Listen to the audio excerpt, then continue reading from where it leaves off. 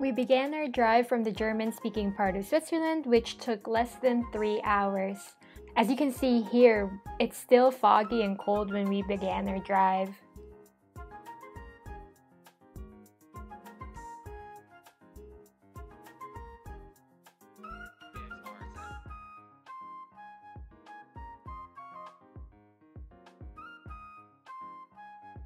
There was a huge difference in temperature and weather. Back home, it was rainy and gray, and as you can see here, the further south we went, the less clouds there are, and it was 20 degrees Celsius versus 10 degrees Celsius back home.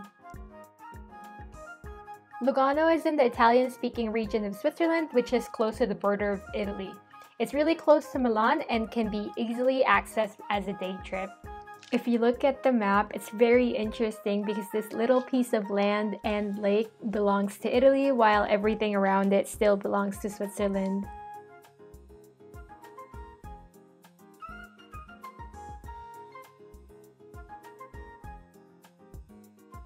Piazza della Riforma is at the center of Lugano and there you can find many places to eat and also shop. There's plenty of things to do there so you'll never run out of options.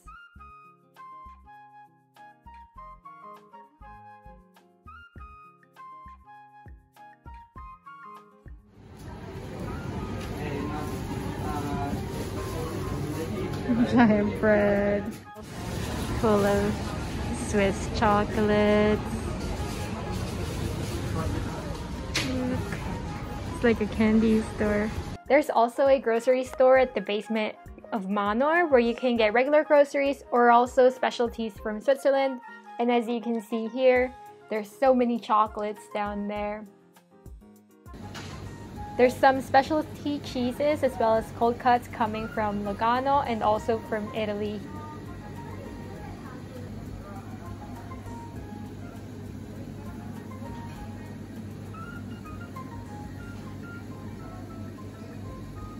After checking out the stores, we grabbed something to eat. We just sat down there. It's very easy even if you don't speak German or Italian because it's likely that they speak English.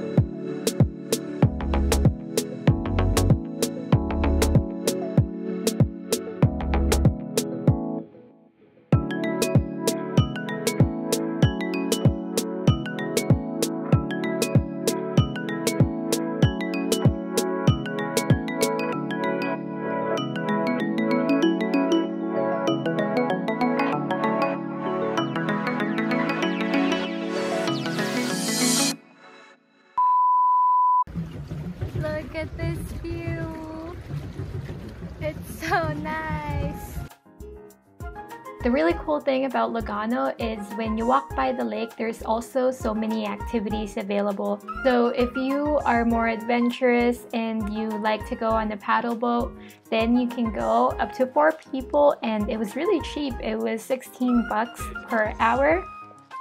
And you can say how long you want to stay out there and they let you do that all by yourself, just bring it back at the proper time. There are also ferries that can take you to Italy from Switzerland. They also have restaurants in these little ferries, so you can do that as a day trip and you can cruise around the lake. So fast!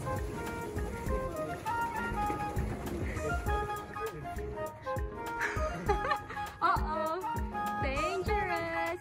Like Titanic Part 2. And we both don't know how to swim.